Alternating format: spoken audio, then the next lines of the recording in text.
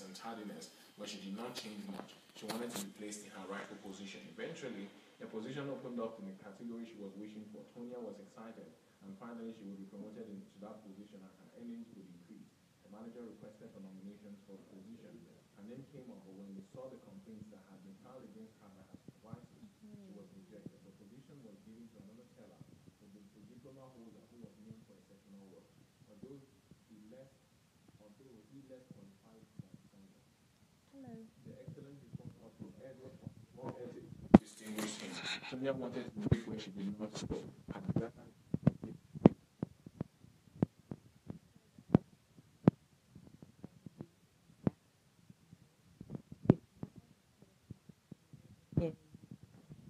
I just want to show you something. Hi, Anojo. Thank you for joining. I just want to show you something. It's so late, and DSA, Pastor Sunday, is still working, and they're still going strong. He's still going strong. A lot of people have already given up. They've already left. Uh, the staff here, the PAs, uh, the guests, they've all given up, and he's still working. And obviously, the person that's working with him directly this evening, he has to continue as well. So, I just let more people join us. I'm tired, you can tell from my voice, and uh, but I just want to show you what's going on here. They never stop. There's no way to poverty apart from hard work. Faith, prayers, fasting, etc. will not prevent Pastor it. Joshua, The lazy person from becoming poor. and It Perez. all in the Bible.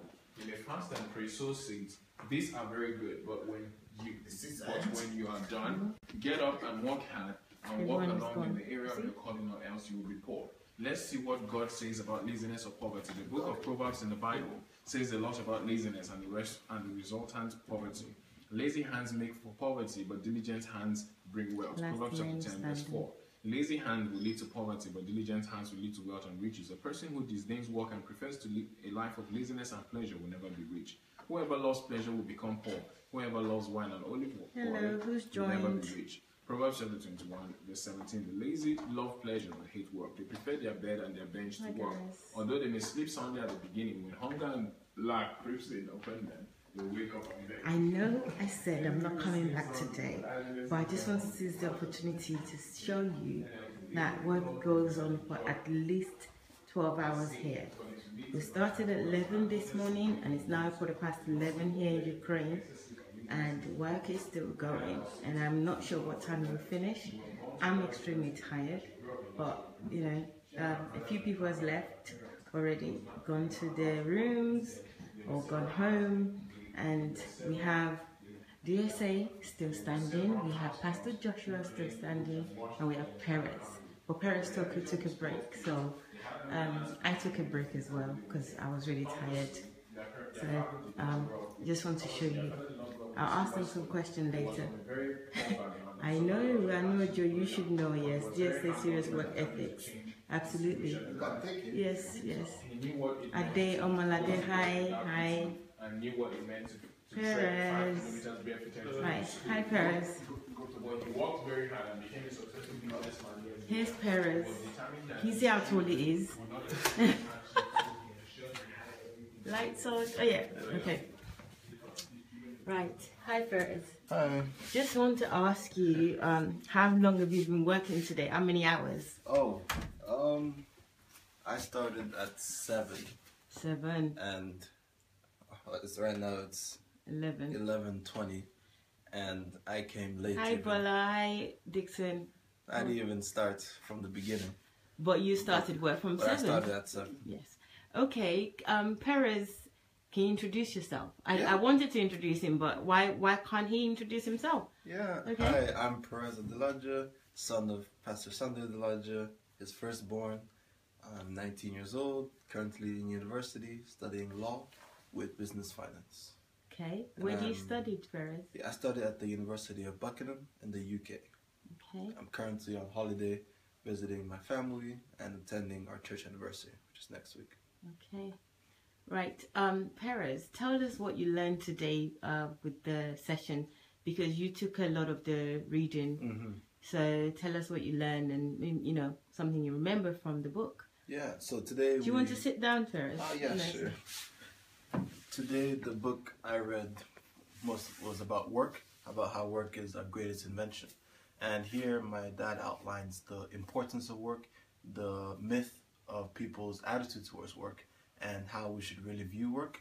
And for me, it was really interesting because it's it's almost common knowledge that people don't like to work, but then he placed a distinguish between your job and your work because he said that your job is what you do in order to just get by, in order to supply for your family, but your work is actually what your passion is for.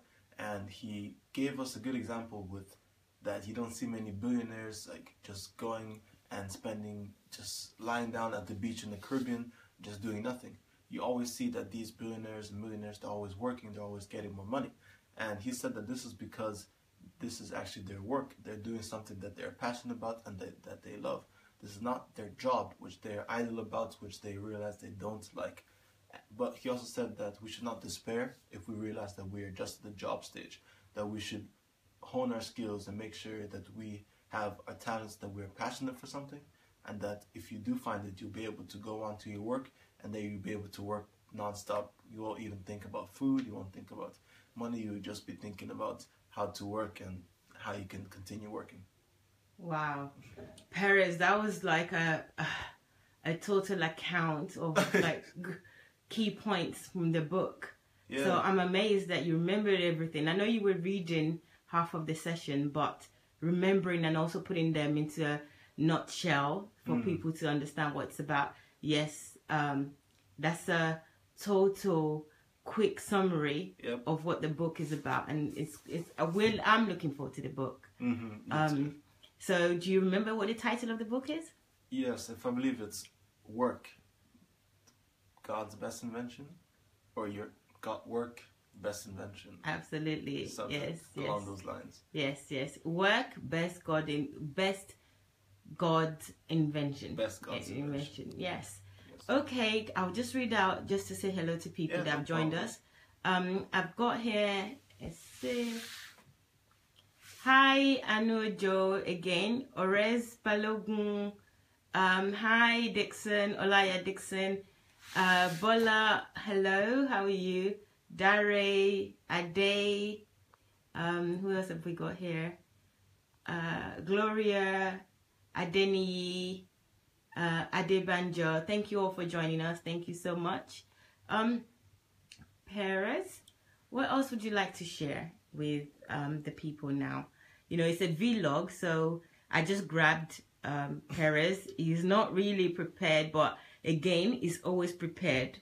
So, what else would you like to share with people, you know, about our work ethics here and what we do? Because it's a good topic where we're talking about work, and, you know, the title of the book is about work as well and the importance of work and why we should value work and disting- distinguish between work and jobs. You've explained that to uh, the viewers right now, but um, what do you have to say, you know, personally about work and your own point of view?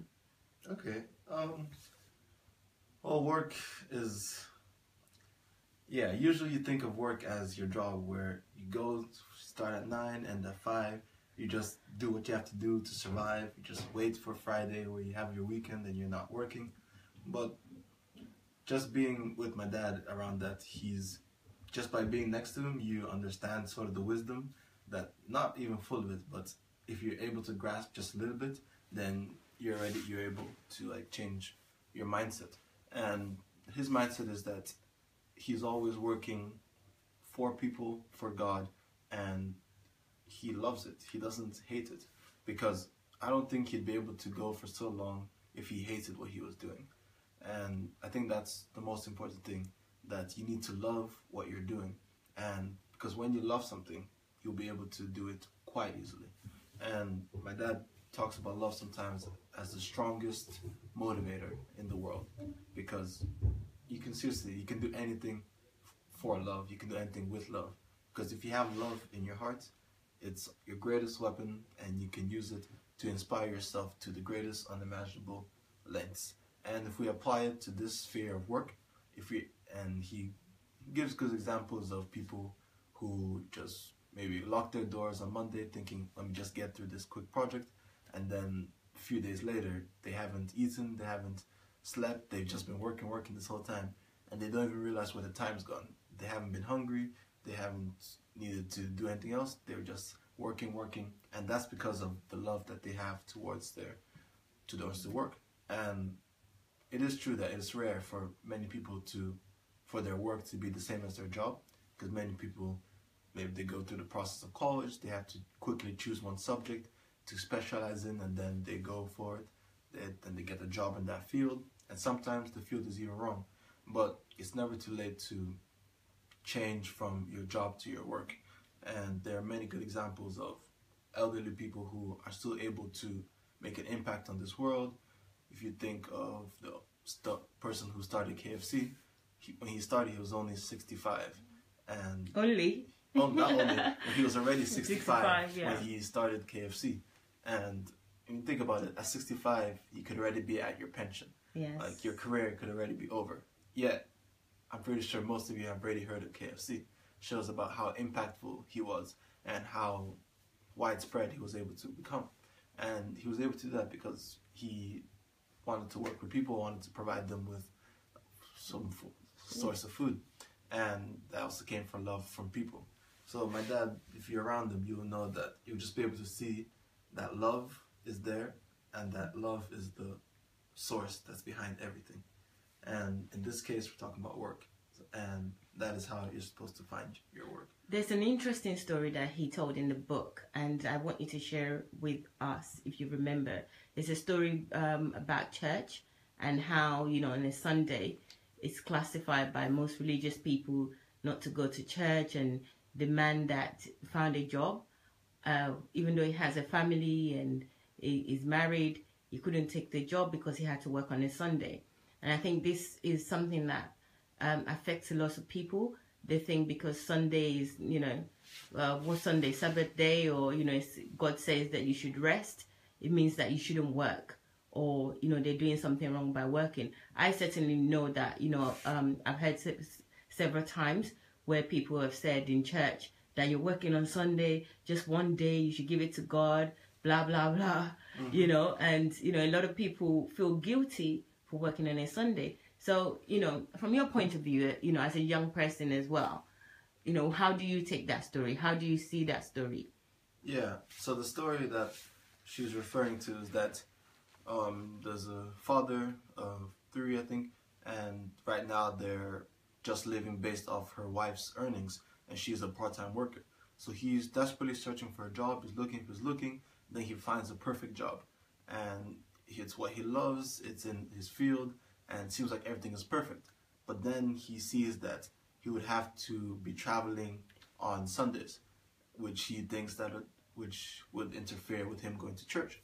So he goes to the pastor for advice, asking if he should take the job and the pastor tells him that you should not do anything that gets in the way of you going to church. So because of that, he refuses the job, and then the fam- then they become broke. They have to sell off their assets. They can't afford their school, their children's school fees, so they have to go from private school to public school. At the end, they have to return to the village because they can't remain in the city. And I say the more of the story, I think that my dad is trying to put to the story is that the if you really have something that you're supposed to do on Sunday, that church shouldn't be the main reason yes. why you're not doing it. Yes. That just by stopping going to church doesn't mean that you're not a Christian anymore. Yes. That there's more to Christianity than going to church. And my dad paralleled it with a different story of how another person was so active, active with his family, active with his business, and that he didn't have enough time to have maintain a spiritual relationship with, with God, where he'd attend church maybe twice a month, but then he would still feel empty on the inside. And then when things would go wrong, he wouldn't be able to fix them. So his solution was not to go to more church, but it was to actually take time alone with God in solitude in order to strengthen that relationship. So the emphasis here is that Christianity is not about going to church, but it's about having your personal relationship with Christ. And if people believe that they're only gonna go, that that they're gonna value their Christianity off of how many church services they attend, that's a great myth that should be demystified because then it's gonna make a lot of people end up in the wrong place because they won't know the right path of life. And the emphasis is that solitude with God, that you listen to Him, listen what He tells you directly, and you do what He tells you to do, not just go to the church and listen to exactly what the pastors say. Because pastors are human as well, they're not perfect either. And they are working on this day as well. It seems a bit ironic that the pastor who told the person yeah. not to take the work. That was going to be my next question. That he's actually working himself. That he's working so, himself. Yeah. And just because of that, you should realize that you should be able to work both on Sunday and the Sabbath if it is towards what you love, what you need to do. Because sometimes push comes to shove, you need to make decisions. And just this won't stop your Christianity just by not attending church on Sundays. You may attend the mid-service week on Thursday, for example. There's always ways around it. But just by not attending on Sundays, that doesn't mean you're not a Christian. Yes. Thank you, Perez. Um, one of the other point that really interests me when uh, Pastor was talking about church attendance in the book was that um, the pastors that says that you shouldn't go to uh, go to work on a Sunday, you should leave it to God. I mean, are they not considering things like they themselves are working by being in church and preaching, and also if um, the people that works in hospital, doctors and lawyers, they're working. What would happen if they refuse to work on a Sunday because it's um, a holiday or because God says that you shouldn't? He says somewhere in the Bible not to to keep that day holy. But I think we um, misinterpret the word that says we shouldn't work um, on a Sunday, or maybe um, uh, the Sunday is a is a Sabbath day. Mm-hmm. It's supposed to be, but that we we are getting the uh, the meaning of that wrong, and it really makes sense to understand that. Yes, what about doctors and um, what about nurses? If they refuse to work on a Sunday, what's going to happen to people? What's going to happen to sick people? You know, so or somebody that wants to give birth, what's going to happen to them? So we really need to use our our brain. Uh, you know, I, this is lack of a better word. I'm not trying to be rude, but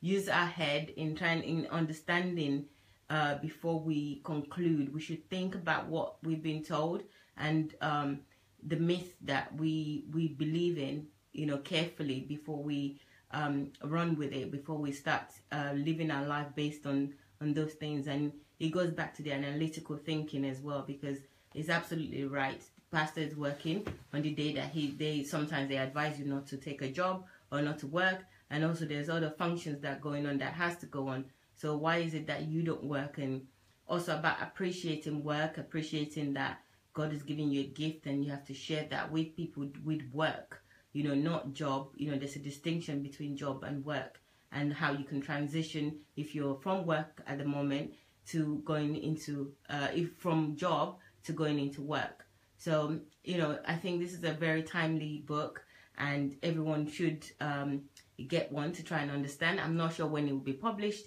but you know, work is in progress and it's still in progress. So we started tonight's vlog um, from, you know, we're still working over 12 hours now. I'm extremely tired and Pastor's still going strong. Um, DSA is still going strong. And um, the person that is reading as well, he has no choice. He has to continue to read. Perez, I'm sure he's tired right now, but because he started working from 7 a.m. this morning. So I'm sure he's tired. I'm extremely tired. Let me just say hello to everyone first. Hi, Julie, Ademokun, um, Junaid, Tatiana, hello, Olubenga, hello. Thank you for joining. Um, Adebanjo, thank you for joining. Thank you all for joining us. Um, I'm going to go back in the other room now. I'm sure they're still working and let's see what they're up to. Thank you, Perez. No problem. Guys, told you just to work in. Can you believe this? And if her leaders understood work and promoted the lifestyle of diligence, and they would transform the nation. The last so much that Nigeria would not be the other abroad. Instead of their nations would seek to migrate to Nigeria. Most Western countries have good work ethic. They develop their nations by hard work. They do not own or encourage it culture of, of laziness, but diligence and productivity. They see dignity in labor and are proud of what they what they worked for, not what they stole from the government. If only Nigeria could change the attitude towards work on a, on a national level, it would transform their nations like the Western countries and Asian tiger and Asian tigers did. The Asian tigers. The four Asian tigers are little dragons, include the high growth economies of Hong Kong, Singapore, South Korea, and Taiwan. These four Asian countries have consistently maintained high levels of economic Hello, growth sir. since the 1960s, fueled by exports and rapid industri- Can I ask a quick industrialization. question? This has enabled them to move from finishing, we are raising. third world economies okay. to join the ranks of the world's richest nations. Hong Kong and Singapore are among the biggest financial centers in the world. Why South Korea and Guys, do Taiwan see are important centers they of global manufacturing, on the clock? And economic They have to finish what they're doing tonight. So I wanted to ask the question so that you guys can see what's going on or, you know, get understanding from their mindsets, but they're in a role right now. I don't want to disturb them, um, but just keep having a look. I'm going to wait here until they give me you a chance. if you need Joshua, he could go, the parents will come and cut it down. Okay. Yeah, please. Right. I'm here. South Korea. South Korea. The swapping readers. Yes. yes. What do you need me for, eh? Just to say, how long are you gonna do this for, sir? I wanted to know, like, it's going on. South Korea, Come over. was poor, Oh, come over. I'm taking Pastor Joshua into a room. okay. Hello, guys. Pastor Josh, Hi. I know you're extremely tired. Mm-hmm. You've now been working for over 12 hours, Yeah. and um, I know that's a lot. Mm-hmm. You don't need to uh, tell me, but I would just like you to share with the people on Facebook that are interested to know how you guys do this and how often do you do this? For me, I work 18 hours every day, and then we pass the Sunday. Let's say we do this about three, four times every week. It depends on his schedule because most times he has to go to court and then he's got other engagements. Mostly court though, because this is mainly what he's doing right now, which is putting his thoughts into books and trying to release as much as possible into the world so that people can have the materials necessary for them to be the best that God wants them to be. And like he said this evening, he's doing what he's doing, not just for this generation, but he's doing it for generations to come. He said he's thinking at least 300 years ahead. So whatever we're working on right now is creating a new system, is creating new thought patterns, is creating new philosophies for life and how best man can become what God really wants them to be. So we do this three, four times every week, and for me, it's like uh, it's either I'm doing this or I'm doing something else. So it's it's the same thing every day for me. I don't have weekends, I don't have holidays, I don't have days off. I just keep working because that's what I've learned from Pastor. I've seen that it's very fruitful, it's productive. So why stop, right? Success is a lifestyle, it's not like a destination. So we just keep going no matter what. Guys, you heard that success is a lifestyle, not a destination. Right from the mouth of Pastor Joshua. Right, Yeah. Pastor Joshua, I can see that you're already tired. You're extremely mm. tired. And you say that you work this seven days a week.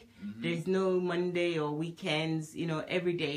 If you're not doing this, what you're doing right now, which is reading through the books, you're also um, doing so you're on social media you're the, he's the content manager of the social media. So he's constantly working at least 18 hours a day. Yeah. okay? Um right. The about the topic that you're reading today can you just tell us a little bit about the topic and what you've learned from reading this uh All right, we've walked in a couple of books today. The first one we walked on had to do with prayer, and then that was more of a spiritual book. It was talking about the three dimensions of prayer. It wasn't exactly what Pastor wanted, but we, we, we only read a part of it, and then he had to send it back to the editors to work on it. But it it just made us to understand how important prayer is. That was today, right? uh was Prayer. yesterday Prayer was yesterday. Yeah. What was today? I, I don't remember. For me, the days are, are now moving too fast. But I know that earlier today we, we, we dealt with one book, and then we had to return and then we, we also had to return that one. And then this evening we're, we're, we're working on that of oh sorry the one that we're working on yesterday was that of nations. Yes. Prayer was today. Okay. Well, oh yeah, I can see that you are also. yeah, I'm always I'm half asleep already.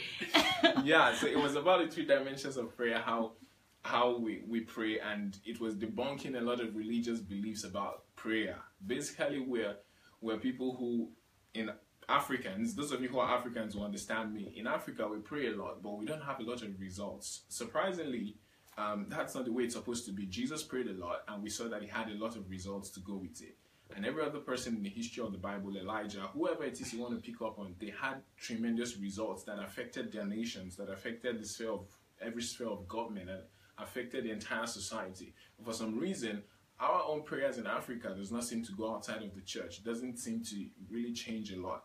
But from this book, we're going to begin to see why that is and how to fix that problem. So that was that book. That's the main idea of the book anyway, to help break down the dimensions of prayer and how we're supposed to go about it. Okay. And then um I think you're right. I'm beginning to reason that it might have been yesterday. Okay, but then this It was yesterday, but was you yesterday. did two books yesterday as well. yeah, so two books yesterday and then two books today. And then, then this evening we're, we're talking about work, the importance of work, and the title of this book. Should I tell them the title of the book? well, Perez told us the title. I also ah, Okay. repeated the title, so you could do Oh, it. great. Yeah, so we're talking about work and the fact that it's better than vacation. So that's not something that we're, we're used to. So we're getting new and a new understanding of work. We're understanding how important work is. We're beginning to understand um, why God actually put work in place. And then we're also debunking religious beliefs that have stood for years, for decades, that has made us to feel like work is negative, work is something that is burdensome, work is something that we shouldn't love. But we're beginning to see that in the real sense, God created work to make sure that we can actualize ourselves, we can build on our potentials, we can actually mine. I feel like um, from the book, it's clear that work is like the mining process that you that you have to go through to get the treasures out of yourself. You know, when you go to Wow. the mining something, process. That's Yeah. that's a really good So, analogy. when when you work, just like the, they do physically, when they work physically and then they have to drill, for you as an individual, for you to really discover who you are and get out all the abilities, potentials, gifts, and talents that you have, for you to fully harness them, you have to work. That's just the only thing. Every single thing that we're enjoying today in the world is as a result of someone's hard work. If the light that is in your room is as a result of someone's hard work, the clothes you're putting on is because somebody worked hard wow. the, the the the hair you have on your head is because somebody worked hard to come up with that style. So every single thing that you look at and admire is because someone decided to work. Some people had not even seen anything like what you have today, but they just decided to go into their minds and then dig deep into how into their creative, you know, atmosphere, and then they came up with what you have. So mm-hmm. it's a really awesome book. I like it a lot. It's helping to re-energize and reinforce my my passion for work because I didn't grow up, you know, with the, thinking crazy hours were good. I thought just eight hours was good. I grew up with a mindset that look, you just need to do the, The least minimum. work, you know, and then pray and expect maximum result. But I'm beginning to see that I'm going to pray as much as I work, and then I'm seeing that there are different kinds of work as well. You've got the mental work, you've got the physical work, you've got the spiritual work, and that's what makes you a holistic person. You meet people who spiritually are sound, but mentally they're not. You meet people who mentally are sound, but spiritually and physically they're not. You meet people who physically they're like gods, they're like Greek gods, you know, they're well chiseled out and all. But when you talk to them, there's almost nothing in their heads because mentally they've got nothing. And then spiritually, they know nothing about God. They've got no relationship with God. So spiritually, they're bankrupt. But that's not the way we're supposed to live. We're supposed to live lives that are holistic. We're supposed to be able to have the mental, the physical. But at the end of the day, you cannot do everything in the same proportion. You have to focus on what is best for you. For instance, as a pastor, I'm going to be focusing more on spiritual and mental. I could do physical because it's going to be an added advantage. When a pastor looks good, it helps, you know, to get Yeah. the message out there. So at the end of the day, I'm not going to It spend. helps to get the message out there. you gotta, you Guys. gotta look good. So if you're, if for instance, I'm not gonna put in the same physical work that an Olympian is gonna put into themselves. Usain Bolt had to work extraordinarily hard because he's an athlete. I'm not gonna put in the same work amount of physical work as Usain Bolt because that's not my sphere. So I'm gonna have to work on something else. So work is awesome. Work is something that we're supposed to do. This book is really a revolutionary stuff. It's going to it's going to change people's minds. Like anyone who reads this book is going to be blown away. I don't care who you are or what you think you know so far. This book has so many truths in it. It's heavily loaded and it's really coming to change the way we look at work, especially Africa. It's coming to change the entire paradigm. And I'm really excited for it. I don't know when it's going to be out. We're, we're still working on it, but I believe that when it comes out, it's going to transform our lives, especially people in church. I have passion for Christians. We're really underperforming in this generation, and it's not supposed to be so. But with books like this, I feel like we're going to really be able to do great stuff, especially with the millennials, with the younger generation. We've got a lot of work to do because we've been given a lot of junk by the previous generation, by our parents, and it's not it's no fault of theirs really. It's not like they're bad people or they wanted to give us you know all of these erroneous teachings. They thought it was the best way yes, to bring they up. lived by it as well. Yeah, they lived by it and they got some results. But if we're really going to be on top of the world, and if we're going to control the world, if we're going to really take over spheres of society and change nations for God and really become sons that would dominate and daughters that would be people that the world will look up to, these are the kind of teachings that we need to imbibe. These are the principles we need to live by. And I feel like if we can do that, there's nothing that's going to stop us. If another Bible is going to be written, our names will be in it. Wow. We'll make history. Yeah, so. Guys, you heard it right happening. from the mouth of Pastor Joshua. Wow. Thank you, thank you so much. Yeah, you're welcome. It was nice talking to you guys. It's going So, back to work now, so Yeah, I've still got um about yeah, I'm still gonna be working for the next three hours. So you guys should take care. Have a good night. God bless you. thank you, Pastor Jay. Yeah, thank you, Mario. My fun. Okay, okay. Right, that's the second person.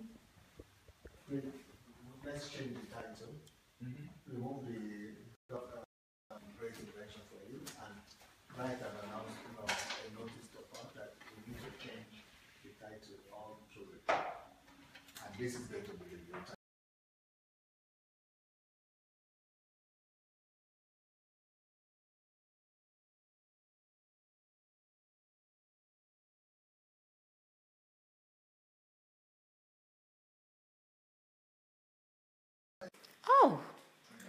labor better than favor. It's a full uh, Yes. It's, it's going to be a long, uh, kind of two two-sided title like that. Why work is better than vacation.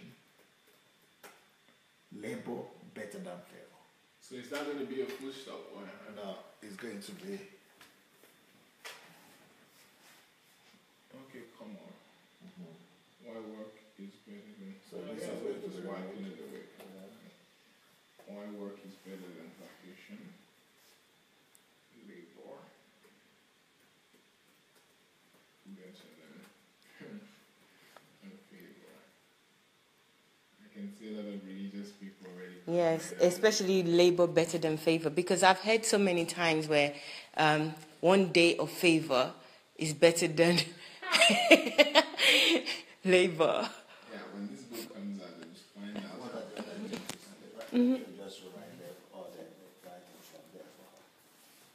All the things somewhere, put them there. And then the one I said last is not necessary. That only the She just needs to increase the quotes.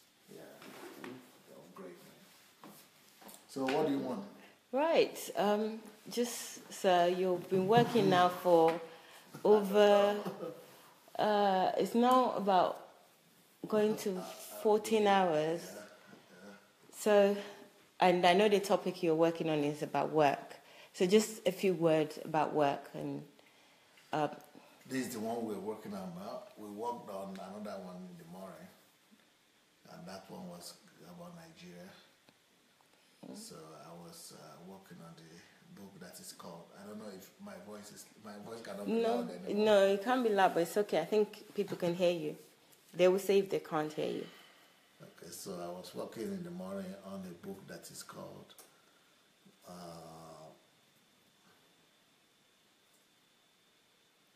How Nigeria Economy Can Overtake America's Economy.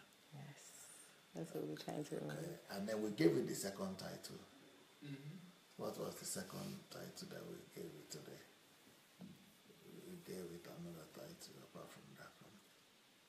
Why corruption is killing Nigeria? How? How? How? How? How, corruption? is killing Nigeria. and how to kill it. And and how to kill it. Or it is time to kill, Kill how it. to kill it, yeah. Yeah. Yeah, how, how corruption is killing Nigeria. Uh, it is time to kill it. It is time to kill it. Mm-hmm. So uh, that that is still going to be a long way to come because we are just on the first stage of work. That's on that book, so that is a long a long time to come. I think I will plan to release that one towards Nigeria's independence. Okay. But right now, mm, we're just finishing work on one of the books that will come out, one of the 25 books that I want to release before my 50th birthday. And by the grace of God, I think I will try my best to even do more than 25 books for my 50th birthday. But the problem will be how you people will read them. but uh, I think I'm going to release as much as possible uh, because many people used to complain that do I have more books, more titles in English? Yeah. Now I'm going to have too many. I'm going to have so many of them in English. So nobody will ever have an excuse or any reason to say uh, we don't have that book. We don't have that book. When I just started doing uh, live broadcasts before, uh, we used to. I used to mention different books, and people used to say, "Oh, we don't have that. Do we get that? Do we get that?" Now you don't have that. You don't have that problem anymore. So after my 50th birthday, I want to release at least 25. That would be the least. If God empowers me and if um, God, you know, God gives me the grace, um, I might do more than 25. And uh, so we'll have enough books for Pastor Sunday in English that, uh, yeah, that, you know, any topic people will be interested in, it will be there for them. So um, today, the one we just finished working on is like you just heard it. Yes. Yes. Um, so I just want to ask you as well and share with the viewers right now that what's the driving force of for this for all this because you work you work extremely long hours and um, to me it just seems like extreme. I, I I'm learning from But it. the, the 14 hours that you saw me working here today is what you saw. That's what I did in this room, Yes. in this particular place. But what about the one I do in my place? Before I came here, I'd work for four hours.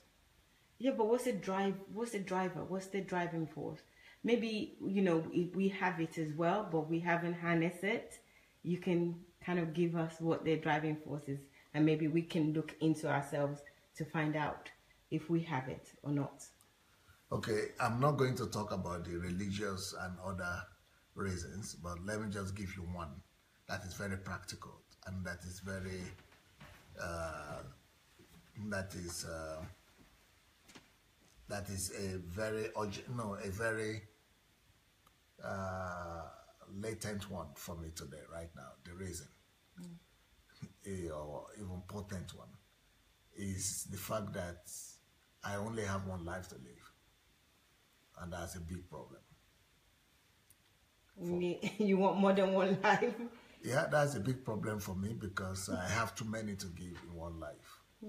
So for me to be able to uh, maximize that one life, I must work like every day to make sure that uh, every day uh, I am living a full life.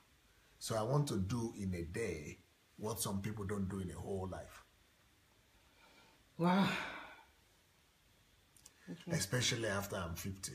So now, now that I'm 50 years old, it's even more present and it's even more uh, vivid why I have to even work harder. So at 50 and after 50, I plan to work harder.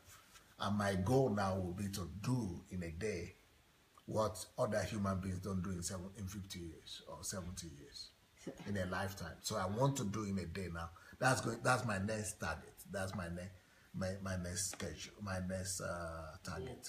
My next goal. Yeah. So you're setting a goal to do in one day, in 24 hours, what people don't do in a lifetime. Yeah. You've lived a whole lifetime. You've Yeah. not done what I did today alone. Yes, that's true. I haven't written a book. yes, that's a good point. However, sir, I still want to know what it is inside of you that is driving that. You're saying the What is driving? you- That's what, what I just said. No, What? you you said that you want to do what people um are not able to achieve. No, no, that's just that's just like that's just a goal. But that's what is driving me. I had said it before I said Your, that. your age because you're almost fifty. No, that's just explanation. I the very, very first thing I said, where were you? I was here right in front of you. Yes, because I only have one, One life, life. just like you two. But I have one life. I don't feel this. Because you are not thinking. Because you are not a thinking being. Well, I'm trying to think, and I can't really find it in me. Because you, if you think, you will think forward. The thinking is not just about thinking about what has happened in the past or thinking about what is what is happening now. You are able to examine yourself if you are a, a thinking person or not in regards to how you think in regards to the future. Okay. So how much you are able to think about future and plan for that future and make decisions based on the thought of the future is actually what determines if you are a thinking person or not. So if you are not thinking about how to maximize the future, mm. then you are not thinking. You are not a thinking person. I think I'm getting it slowly. yes, if you are a thinking person and you realize what I realize, and what I realize is that thinking forward, that I'm not going to be here soon. And if I'm not going to be here soon, even if you are 10 years old now, you are not going to be here soon. Even if you are 20, you are soon not going to be here. Your time is passing by. So then you realize that I must be in a hurry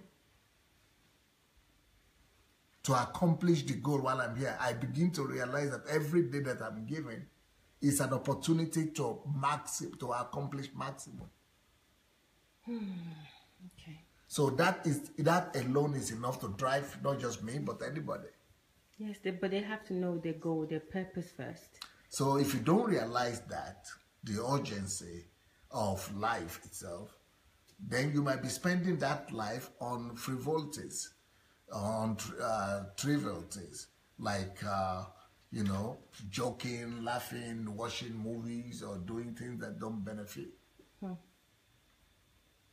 But uh, but today you think I've just only uh, written a book, but I've not just written a book today. Apart from writing a book today, I've also uh, you know put some plans in place f- for the transformation of Nigeria, uh, especially for the industrialization of Nigeria. And you people will not even, you, those are the things that you are not even aware of, but that I am doing without, uh, that other people might not even be aware of. So I'm doing a lot of other things that you don't even see. Yeah. So, uh, you know, I hope that this my answer at least make you begin to think Well- why I push myself so hard. It will give me uh, sleepless night. With what sense? uh, in the sense that I I don't feel like I care much about what happens after I'm gone, and I think you're you even going? well. You you're talking about you're thinking about the future, Yeah. you know, and I think So if you don't care much about what happens after you are gone, that is another proof that you don't think. Exactly, but that's what I'm saying that I don't have it in me. I'm trying to look for these things, and the difference is that you have That that, is just an evidence of a person that lacks thinking capacity. yes, I put my hands up. I think that I really don't think. To say that you don't care for what happens after you are done. No, I don't. To, to be honest, I'm going to start thinking about it. But right now, I feel like I don't really care enough to be doing, to be driven in the way that you're driven. I care about now. I care about here.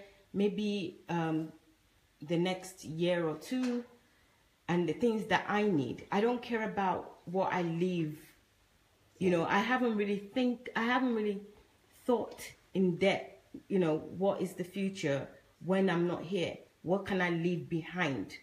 You okay, know? let's think about what you care about. What you said you care about right now is about what is happening to me right now, yeah? What's Yes. happening to you right now. Yes. Okay, what is happening to you right now? You wake up in the morning, you feel good, you want to feel good. That's just about feeling. So that's why you eat. That's why you dress. You paint your face. You do make your hair look nice. Everybody say hey, hey, hey, and you're happy. Hey, hey, hey. But in the next one hour, something goes wrong. You've forgotten the good you just felt just Yes, now. yes, So it is not what I feel now that lasts. It is not what benefits me at, at, the end of the day. Hmm. And it is not what benefits the world around me. Hmm. So what I feel right now, what's going on with me right now, is already past. Hmm. Everything that we see right now or we're experiencing right now is in the past already. It's gone. So it's no more benefiting me. The best that could benefit me just if I remember some good memory. But you don't even remember most of the good memories. Okay, the way you've just, what you just said now, that you care only about how you feel now, and maybe one or two years uh, uh, Yeah. from now. Maybe you don't even care about the one or two years from now. No, really, you care no. mainly about now. Okay, that is how you have lived up to now. Yes. Okay, now you are, let's say you are 30 years old. But when you are 20 years old, you talk just like that. And you are caring, when you are 20 years old, you are caring about how you felt, how you looked that time. So what is it that you, what, where is that? Where are all those, tw- between 20 and 30 years? So for that, for 10 years of your life, you talk like that, that what was important is how I feel now. So what is, where is it? What, what, is- where is the product for those years? What can, what did that produce for you? It did not produce anything for you. It only produced for you good feelings at that time. So where is the feeling now? Give me the feeling. You don't even remember it anymore. You don't even have that feeling. You don't even remember how it felt. Tell me all the good things you did between 20 and 30. Where are the all the very good things you invested your life in? And show me the results right now. Maybe you are having boyfriends. So where are the boyfriends? Well, you- maybe you are, were in love. So where is the love? Where is the love? What is love? Feelings.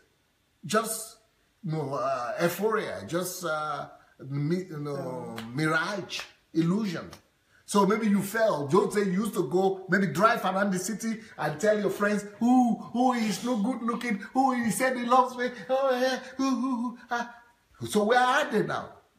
It's nowhere to be found. Even those who are married and have children, where is the thing they were all talking about driving and all the talk? Where? Give me the product. Don't tell me about those children, about husband and wife, because you are miserable even with the husband and wife and the children. And those children, they will not even remember you in 200 years' time, because they would themselves will not be here.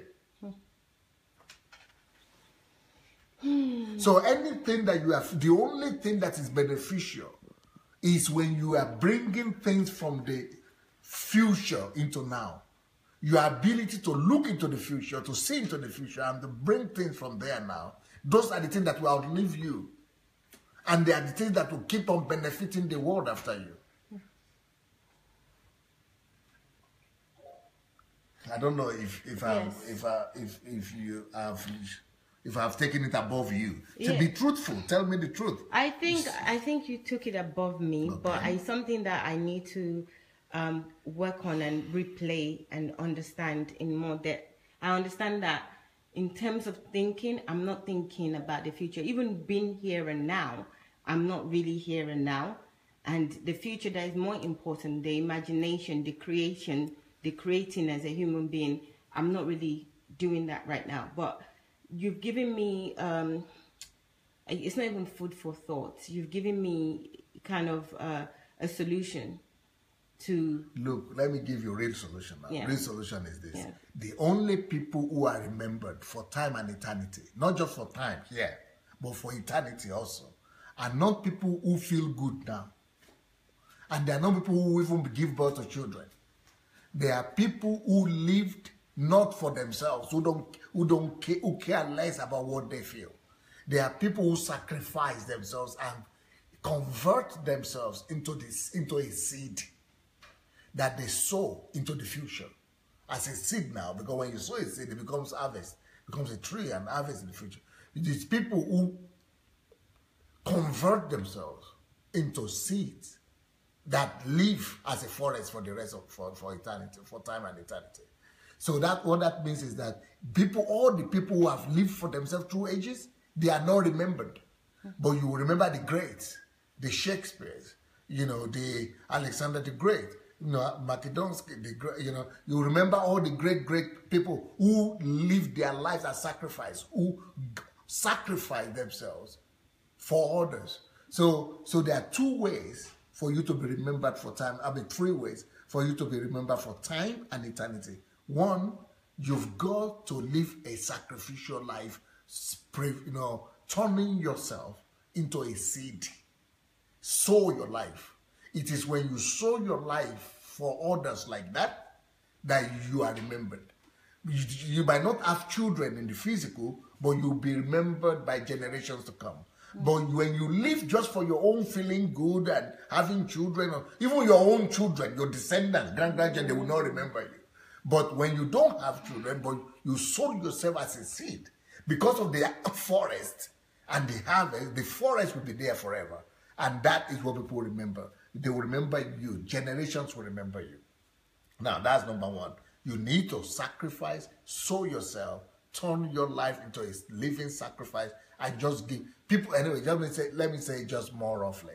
When you live for other people, when you live for other people and for yeah when you give your life as an offering for others that's when you are remembered number two you are remembered when you have discovered your assignment on the earth your your mission on the earth like for example people like uh, thomas edison might not be born again maybe he didn't uh, but he discovered his calling tesla um, you know, Newton. You might not say they live for people or so, but they live in the laboratories. George Washington Carver, they live for their vision. But whatever they live for in their vision, they gave their lives as well, sacrificing their lives in exchange for their vision. They gave their lives in exchange, they sacrificed their lives for their vision, for their purpose. So when they totally give themselves out for the purpose, they are also they live for life and eternity as well. Number three category of people that live for time and eternity are the people that live for the invisible future. People that live to make the future possible. Those are the inventors, those are the people who see things that other people don't see. Those are the people who, who, who live for things that are not temporal, but they live for things that are to come. You know, because all the things that are temporal, uh, I mean, uh, that are physical are temporal. Or they live for things that are not physical. They saw things in the spirit. Those are men of faith. Those are the great men of God, the great men of faith. They are able to see things into the spirit and they live to bring those things to the reality today. So even after they are gone, they are working. People like Steve Jobs. So, you know, they are bringing things from the future to the present. They live to be remembered as well. So there are three things for you to do to be remembered. What are your friends saying there? Who are they? People out there? Lots of people are feeling sorry for me because I even ventured into asking you the question. So, um, hi everybody. Um, Shegun, Julia Ngoya.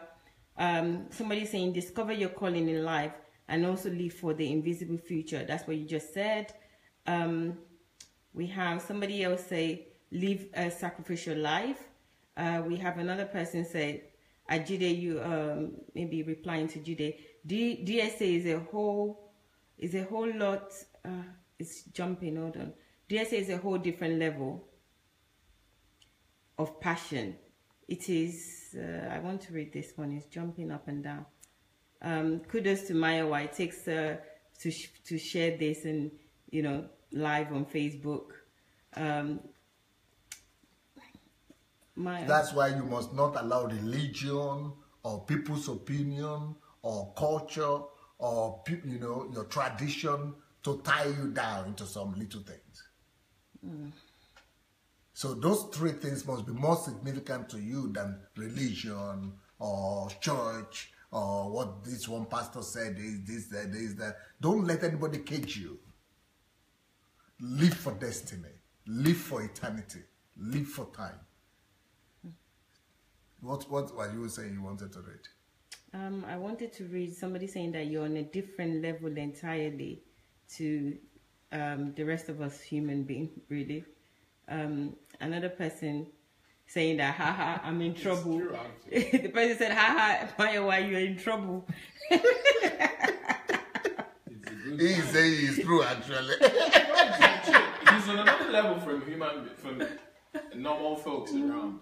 The, So- the facts speak it. His results speak it. The things he has done, um, not many people have been able to do it anywhere in history. So we're making history right here, right now.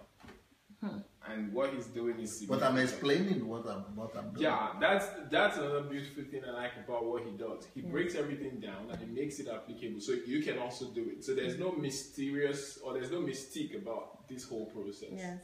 It's very clear what needs to be done, and uh, if you can discipline yourself to do it, you have the same result. Yes, you have Judy saying that those teaching moments with P, Pastor Sunday are just gold, the best moments with him. I hope we're putting it into practice. Um, find something worth dying for is the best thing for do is the best thing to do It's the best in your life. Yeah. yeah. Um, we've had 50 comments so far. Um, somebody else saying that's true.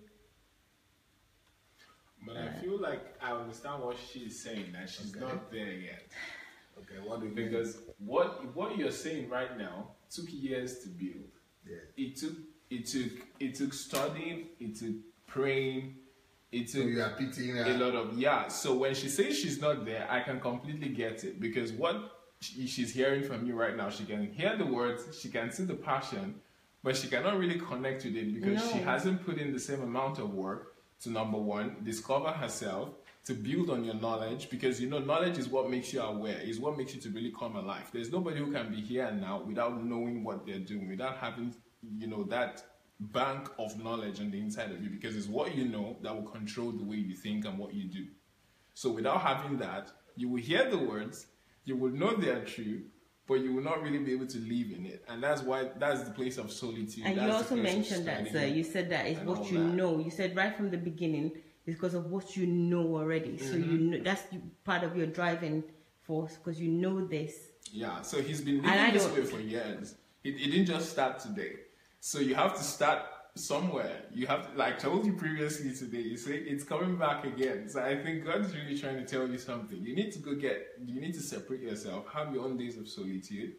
Take the book you've been reading of Who Am I, really look deep into yourself and start building on what it is that you're really passionate about. Because everybody knows that you need to live for something. You, there has to be something you're willing to die for. But how many people are doing it? It takes time. It takes work. That's part of what we're talking about. I don't today. know if The they mental know. I think they- the they- spiritual work. Really, they all know. They know Mandela died for something. They like him. Yeah, but they, they know think- Martin Luther King died for something. They celebrate his his day in But what US. she is saying that you are on another level too. Yeah. At least you are on the level of those people who know. This is But just she is saying that there are a lot of other people like her who don't even know they are supposed to live for something. Yes. Oh yeah. That's what she was saying that there are people like her in the whole world here Who don't know? who don't even know that who am I? That they never even ask themselves the question, who am I? Well, that's and why what am we're I working here? on. That's what we're working on. That's what we got the book. That's why you have the vlog. But she said there are people like that who never even thought about it. yeah, it's true. Yes, but people are. But I never even knew there are people who didn't think about that. people even I just admitted knew, I just thought that people are asking themselves the question only they don't know. Mm-hmm. So I want to help them to know. But she is saying there are people who never even thought about it. Yes. That's good. It shows that they, I never thought about it, you have- and I'm not the Huh? only one. it shows that she has a passion for those people. So get going. There's a lot of there's a more. So do you think the majority of people are people who never thought about it? Yes, I think maybe 99% of people haven't thought about But that she he question. knew at least that you are supposed to live for something. Yes, but I guess No, that's, because you were that's- told that you're supposed to live for something, exactly. but you I don't grew know. up in an environment where I saw my like my dad. He was living for for something. He was living for people. I could see that he spent more time outside the house than he did in the house talking to I and my my siblings. so I knew that there was something that went beyond just you know the normal job of nine to five and stuff because he sometimes he never he was never around. You know the way it is. You travel Perez is here, he can testify to how much of he of you he was seeing back in the day. So I, I already So knew. people like I would never had that no, if you if you don't grow up in that environment, even if it comes to your mind that what is the meaning of life, just the fact that nobody else is asking that question or there are no answers around, you will just brush it over and be yeah, like, oh, and my Afolabi, God. Victor says millions of people are ignorant of their purpose. So it's not It's not millions. Let's make that billions. billions, yeah, because Let's make billions. that billions. I, yeah, I, I've never But thought parents, for example, the reason why this is very strange to me, parents, are you there? Yep. Is that I have kids and my kids are small. But from when he's been six years old or 11 years old, and Bear, Zoe, Pearl, they know, even if they didn't, they couldn't describe it what they were going to, you know, be, but they knew they were going to be some something. So for me, even if my kids, as as little as six year old Perez, Pearl, Zoe, they had already known that they were here to become something, to change the world, to impact the world. They already knew that even before they knew their name. Yeah. So I was thinking, I was thinking, ah, are there human beings in this old? How can they be grown up? I'm not talking of six year old people. I'm talking about 30, 40, 50, and they don't even know they are supposed to be here for something. Yes. That- Is that not strange to you? You tell, the- you know, tell the Parents. parents. Well- He's just 19. Sir, but to be fair, they probably saw that from you, and you Of brought them, course. you brought them up in Yeah, that I way. think you know, definitely. Uh, my parents, when I was young, because I'm, I'm quite nurturing, they'll just say, "Doctor, ah, my wife is a doctor, or whatever," but they didn't even put anything in me to No, harness that. do you know there are people in this world that don't even know they are supposed to be here for anything? Let it hear parents. What does, oh. is not that just shocking? I always thought that at one point in their life, everybody still like asked the question. You know, well, at what point? Maybe when I we thought I were always thought it was during like college, I thought it was like just natural. latest Just- college latest, because that's like you know you grow, you leave your family, you go into like you start studying, then you're like, So, "Ooh, but I think don't the reason why it doesn't happen to people in college is that some people go to college just to so that they will get a job.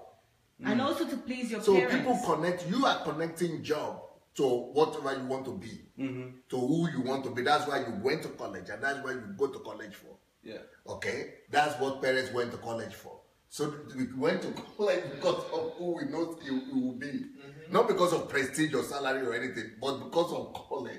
But nobody ever, most people No. don't do that. Yeah, No. most people go to college like even undeclared, like they don't know what major they're studying. Mm-hmm. Yes. Yeah. Yes. Mm-hmm. No, it's not possible. No, it's very. I've possible. never even heard that one before. Yes, I, I changed my my major. Oh, on Have you day- heard that, that before? Yes. Yes. They don't know their major. They just go in there and then they're telling They you go what's to Yeah. general classes. going No. I'm not even talking major. I'm even talking about. So if people don't know major, why should I even be talking about purpose? Yeah. We No, you're far away from it. You're way ahead. Let's You go to college, don't know your major. You mm-hmm. don't. For the first year, the first couple Yeah. of years at least, they're like First still one, trying to years, figure it they out. Shineke. Yes, it's true, sir. No, what you've done for them, they might not even understand what it is, Ooh. but the, The for children- the parents children. and, and the likes. Because in Nigeria, you don't get these lessons. I, I, I was privileged to go to a school where the elites, where kids from of the elites were. And they too don't know. They don't know. They've just been told by their And parents that this is what you will okay, study. You've got to be an engineer. You've got to be a doctor. Doctor. You've got to be a lawyer. These were the most. These were the three most predominant stuff, and to them, they felt like that was prestigious. And when their parents came around, their parents were politicians, wealthy businessmen and women, and very successful people. But they never told their kids about purpose. They never told their kids about what's mm-hmm. really your talent and mm-hmm. what do you really have an inclination for. Yes. Many of these parents feel that because they, they're successful, they need to drive their children's lives as well in a certain direction so that they too can be successful, Successful. and be respected in society. So nobody talks about purpose or stuff like that. It's, it's, it's, it's new.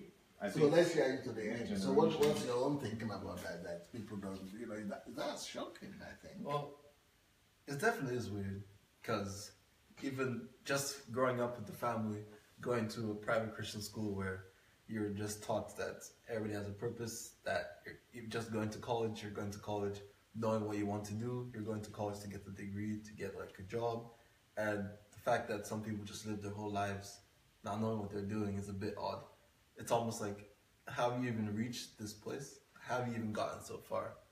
And because not they, people, because people grow, you know, because people grow up biologically, but without their own Like input. instinct almost. yeah, yeah, just instinct, just like what I call biomasses. Mm. And people just wake up in the morning, and every day you wake up, you grow older. That's how they got to where they are, just by sleeping and waking up. It They didn't even pro- program, so they didn't. They do, people live on daily basis without connecting with their senses or their Yeah, mind. like that just seems almost inhumane. Yeah, that's why I'm always saying people who are biomasses, they are not yet human. That's why I always say either you are a biomass or you are a personality. And people think that I'm abusing people. I'm not. You are only humane when you begin to think. In fact, in a day, you only you are only human to the amount of minutes that you spend being here now consciously. When you do things that just like autom- automated, you are not humane that time.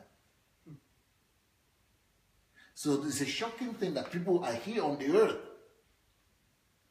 They don't even know they're supposed to be here for them. Many people. Yes. And So I'm, what a are bit, your I'm a people bit saying? sober right now. um, Ola- Olayemi says, I think the environment has made some people and destroyed most people. Uh, somebody said very correct, sir. Um, Topsy's, Deborah said very correct, sir. Topsy said, people like us that nobody told about purpose, even though I gave it a thought when I was growing up, but nobody told me, so I had no direction on how to discover purpose. But I don't know what is happening in England. A lot of people that I've met in England are just like you, Bayowa. I Yes. don't understand that. Yes, because um, we don't think about purpose. We think about, for me, yeah, and what is trending at the time. You know, we don't we don't align things to our own gift and purpose. Is what is happening. You know, I was in banking because yeah, there's money in banking, and then. but when I when I was working banking, I wasn't happy. I was I just felt like it's really doggy doggy kind of world, and people are just not humane, like you just mentioned now. And I was not happy. And even when I wanted to leave, and I was complaining to You'll people, never be happy anywhere, either in banking or oil or anything, until you are in Yes. your own calling. Yes, and when I was complaining to people, they were actually telling me that I'm stupid and um, I should be grateful. You've got a good job. You work for a top bank. So at the end of the day, I didn't know what to do. I just stayed and stayed and was unhappy because, you know, eventually I left because I felt like I couldn't take this anymore. I can't live my life in this way. So eventually I left the job and I moved on. Um, and a lot of people, even up to today, they still say, you know, you would have been great now, you would have been top banker, you would have been transferred to this and that if you had stayed.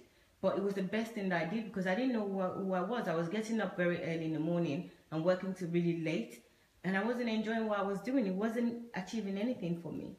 So, and I, I struggled all throughout my life because when I was young, my parents used to say doctor, and you know, I tried to do science. I have no interest in it as such. So I moved on when I was able to make my own decision, and it's just a trickle effect. I think a lot of people have got similar stories. So your Uh, question to me, let's go back to the uh, initial. You want to read what? Yes, uh, somebody said, Deborah Cole said the same in England, especially when you're black. Um, I'm not sure what, um, the, maybe the same, it's the same thing that you don't, you don't know what you want to do, especially when you're black, the opportunity. But I don't, I think that's another level. Purpose is not part of any syllabus in our institution Okay. here in Nigeria. Also, it's not part of our syllabus in England as well. Tatiana, um, the only real life is a life that we get an echo in the ages. The grass can wither, but a person has no right to live without a trace.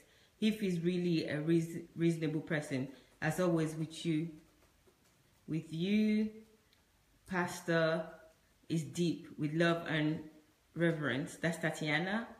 Um, the, my phone doesn't go all the way up, but there are lots of comments. I think there are about 60 comments now.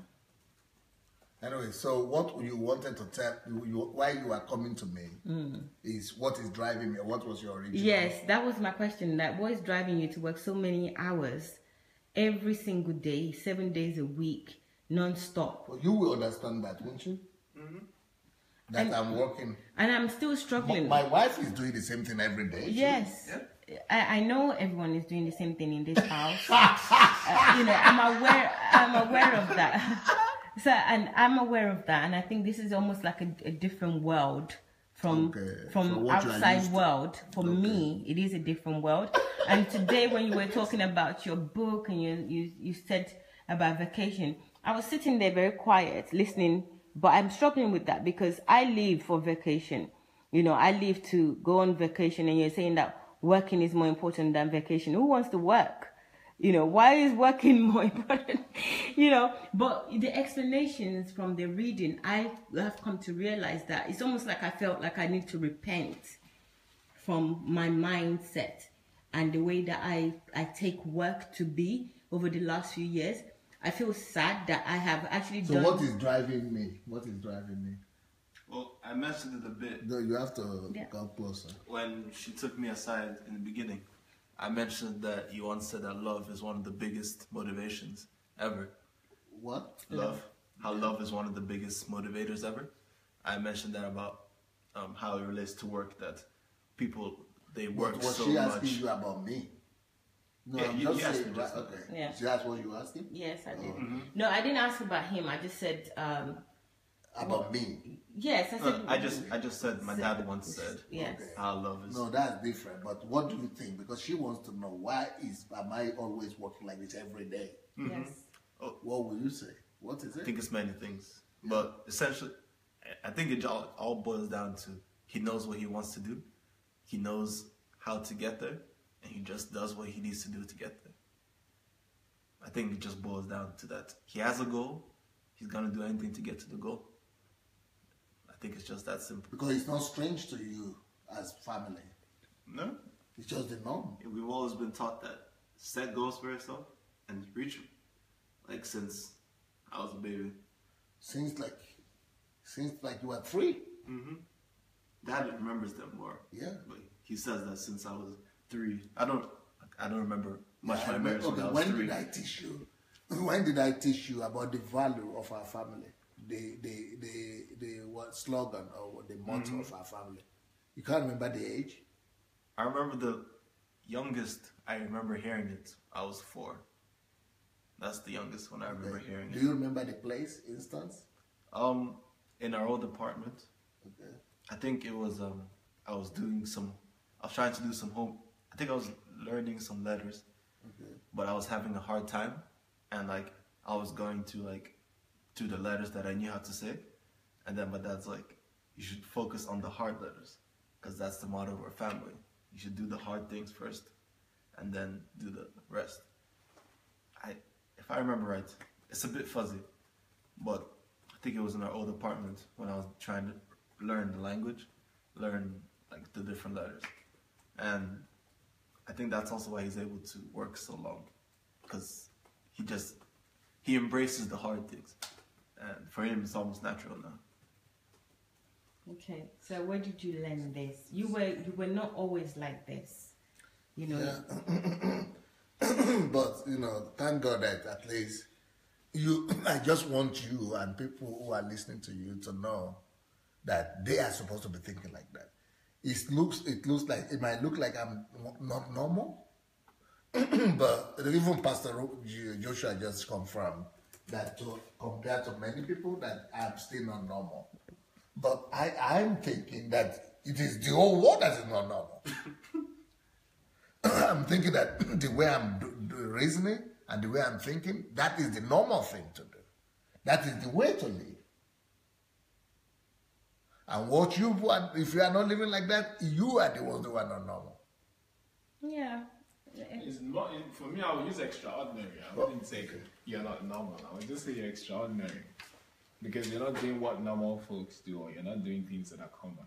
What you're doing, I don't think is even up to one percent of the world's population that does it. It's like Yes, zero point that's it, zero uh, zero zero zero five or something, or one or something like that. Yeah. So What am I doing? I think I'm not doing anything special.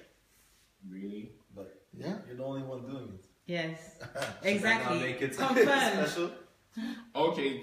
Well, I have a question for you, Pastor. It How many people have you met who do what you do? It just shows that the whole world have been under some form of deception. In my mind, I am thinking that I might not know them, maybe I've not met them, but there might be people like that everywhere. I know a few people when you hear their name, people like Bill Gates, people like uh, Steve Jobs, Musk, the guy, whatever. Elon Musk. Yeah, Elon Musk, and other people like that. You know, there are many of them like that all over the world. I'm not sure how all there many. There's not that many of them. No, they're very many. A handful. For for me, I'm the only thing. For me, I'm not even thinking of any other human being that they are there. When I'm living my own life, I don't even think of who else will I think about. I'm only thinking of those other. For me, in my own mind, they are the only ones existing in the life like me. So I'm only in their level. I'm even not thinking of other human beings. For me, there are no human, other human beings. If there are other human beings, there are only other human beings that I'm supposed to help, minister to, give a hand to, and help them to come to the place where those people are. So for me, I'm not even compared. The only people I could compare myself to are those ones. So if you say, how many are they? They are not few. I mean, they are few. For me, they are the only one. There are many. No, they're not many, but you you could only count about ten I'm only yourself. thanking, yeah, I'm only counting them. So they are the only ones that I'm counting. I'm not counting millions. I don't even see millions or billions. No, they're not even up to 3,000 who are, at least let's use the billionaires club. They're not up to 3,000 people in the world who are billionaires. So if we if we use that parameter alone, that's what percentage is that of 7.5 billion people? It's no percent. Zero point. It's not even up to one. There's the point. Well, so how many people are this? These are these are these are not even up to to. Those are the few people in his world who do Yeah. things the way he does. So when you look at the vast That's the word I see. For me, the word is that one. Mm-hmm. If I'm not saying seven billion or anything, the seven billion they are there. I know that they're there, but in my sub in my subconscious, Well, they don't that's exist. yeah, they're just my, this is my reality. Maybe I But need to these zone are my out. reality. The other people are there for me to help them and deliver them, but they are not in my active reality. My reality are the people who are doing, making things happen. Mm-hmm. Who wants to have the final words? Because I'm dumbfounded right now. I. so, who wants to have the final words with the people? For me, I just want you to understand. I'm trying to give you a, a, a sincere answer. Why do I do what? I'm surprised that that question even arises. Because that's why I, you know, I was losing my voice, I was tired, I was sleeping. But when that question came, I was trying to struggle and find out: Are you really sincere? Are you really? The only I am totally explanation, the only explanation I could get is that if you really mean what you say, so you are admitting that you don't think, Yes, maybe. I, so then that's the only way that question could even arise. but, uh, sir, I don't even do how. You already said yourself, I don't do 0.1% of what you do. So, obviously, uh, evidently, I, I don't I'm not thinking in the way that you're thinking. If I'm thinking, maybe I'm not thinking right. If it can be called thinking, and that's what I'm trying to develop now because I I've I've seen you every day for the past few weeks. You do this every single day, you know, and I struggle to to understand and you know reading this book today about uh, work and the importance of work and why it's even more important that your work is better than favor. Work is even more important than favor. And um, it's just, I, I need to know. I think this is a good time to actually ask this question because it's a question that I want to ask all the time. I think I've asked you before, even when I was in London, that how do you even become this way? And I, I months and months of listening to you online, I still couldn't get it. I couldn't develop that attitude in me. And now I'm here and I'm seeing even hundred times more than I saw when I was watching you online. And I'm still thinking that what have you got that I haven't? What is in you? But you've explained so many things to me. I really need to go back and listen to this and I will urge you guys as well that you should please go back and listen to this um, this vlog and watch it over and over again. You can see I'm really tired already, and also what I've learned right now, my head my head is actually boiling.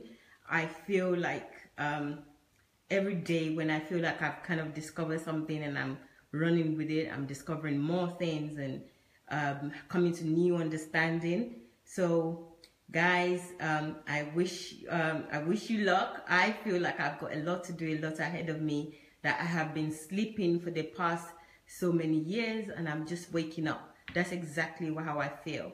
And i really need to unlearn a lot of things and learn new things. And i'm glad i'm in this environment to do so. So that's one of the reasons why i really want to share um, the daily experience here with you. I hope you enjoyed this uh, time this evening and I know it's pretty late, so um, have a good night and I will see you tomorrow. So, bye from Ukraine. Take care.